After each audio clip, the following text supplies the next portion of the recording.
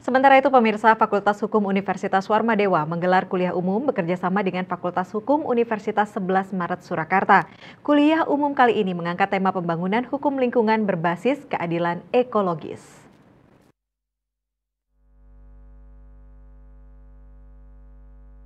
Dekan Fakultas Hukum Universitas Warmadewa menyatakan, tema ini diangkat karena persoalan ekologis menjadi perhatian bersama.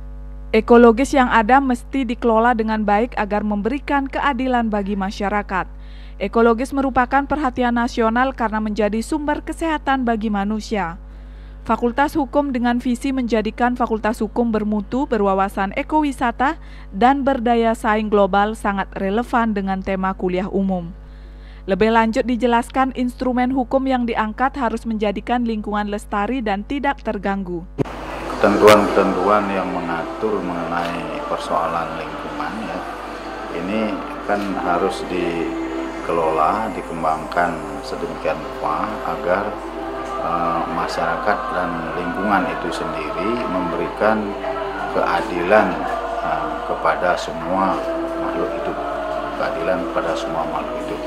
Kita tahu bahwa eh, masalah lingkungan ini adalah masalah internasional yang menjadi cikal bakal kehidupan sehat bagi seluruh umat manusia dan eh, termasuk hewan dan lain sebagainya dan gitu karena itu ekosistem eh, daripada setiap apa itu uh, habitat yang tumbuh atau berkembang ini mesti dilestarikan.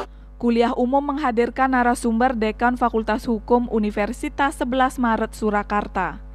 Ia menyatakan materi yang disampaikan yakni menjaga alam agar lestari bukan hanya tanggung jawab pemerintah tapi juga masyarakat. Krisis sumber daya alam lingkungan banjir adalah tanggung jawab bersama. Warga negara mesti dijamin dalam mendapatkan lingkungan hidup yang baik dan sehat ini bukan hanya tugas pemerintah ya, tetapi juga tentu peran serta masyarakat sangat penting ya. Dalam pasal 28H eh, Undang-Undang Dasar 45 ya, setiap warga negara berhak atas lingkungan hidup yang baik dan sehat ya sehingga tentu uh, warga negara uh, dijamin ya untuk mendapatkan lingkungan hidup yang baik dan sehat.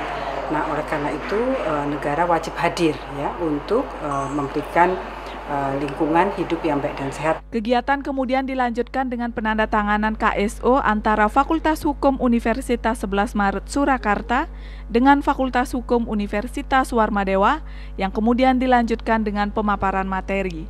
Desak Aryani, Bali TV.